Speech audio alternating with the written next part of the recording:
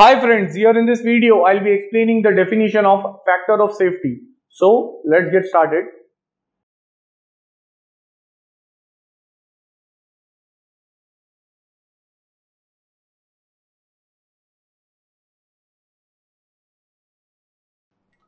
So to explain the factor of safety, here I have drawn a stress versus strain graph for the ductile material. Now in this graph as we can see from 0 to 1 it is called as the proportional limit where stress is directly proportional to strain and the material it is obeying Hooke's law. After that when it reaches point number 2 that is called as the elastic limit that is the material behaves in an elastic manner up to point number 2. The moment we remove the load the material will regain its original shape and size and after that when it crosses point number 2 the material goes into the yielding stage that is it goes into the plastic deformation or the permanent deformation stage. And finally at point number 5 the material is subjected to maximum stress which is called as the ultimate stress. And at that location the load is maximum in the material. And after that just after that even if we reduce the stress as we can see here when we are having a stress which is much less than the maximum stress over here in that case also the strain has increased. The strain as we can see here increases even though the stress has been decreased. And finally at point number 6 the material breaks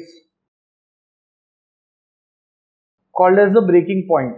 So at the breaking point it can be clearly seen that even though the stress is much lower than the maximum stress but the material has broken at point number 6 so the target should be in such a way that we have to avoid the material going into this region and to avoid that we have to reduce the stress that is when the material is being designed or if there is a component to be designed which is subjected to loading we should see that that component should not reach the maximum stress.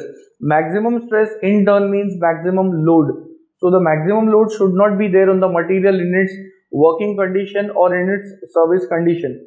So the moment we try to move the material away from this ultimate stress or the maximum stress, we use a factor called as factor of safety which is given by, it is denoted as FOS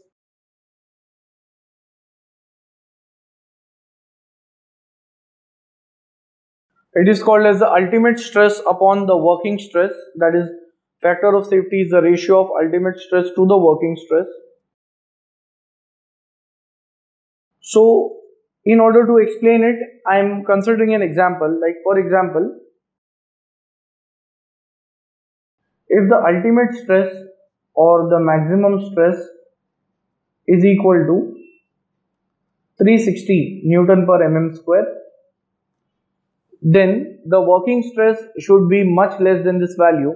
So I'm assuming a factor of safety and factor of safety is simply a number. That number is a positive number and the assumption here is FOS is equal to 4. So when I put these values over here, I'm going to get the working stress as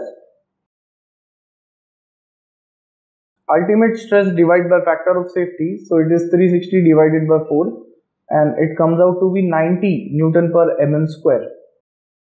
So by taking this value that is 90 Newton per mm square the material would be designed.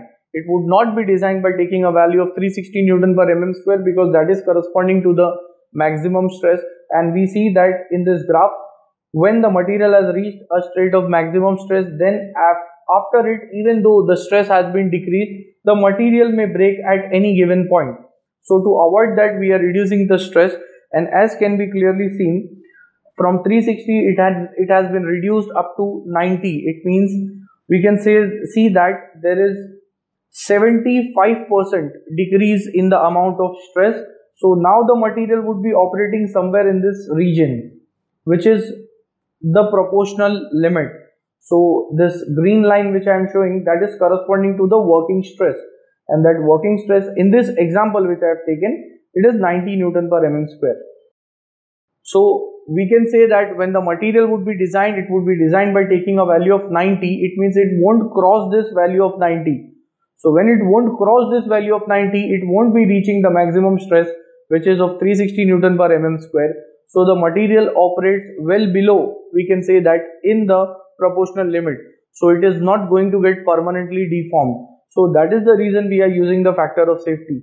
And factor of safety, it depends upon various factors like for example, it may depend upon the material, the type of surface finish, then the type of heat treatment the material is subjected to, at the same time the type of loading which we are applying and the type of service conditions which we are using. Like for example wherever human safety is considered or more importance is given to human life like for example in the design of aircrafts even in the design of uh, trains in that case the factor of safety is taken as a high value even in case of the design of elevators or lifts the factor of safety is taken high compared to normal for example nuts and bolts or screws in that the factor of safety is less compared to in those applications where the human life is considered or there is a threat to the human life. In that case more factor of safety is to be considered so that we move away from the maximum stress into the proportional limit.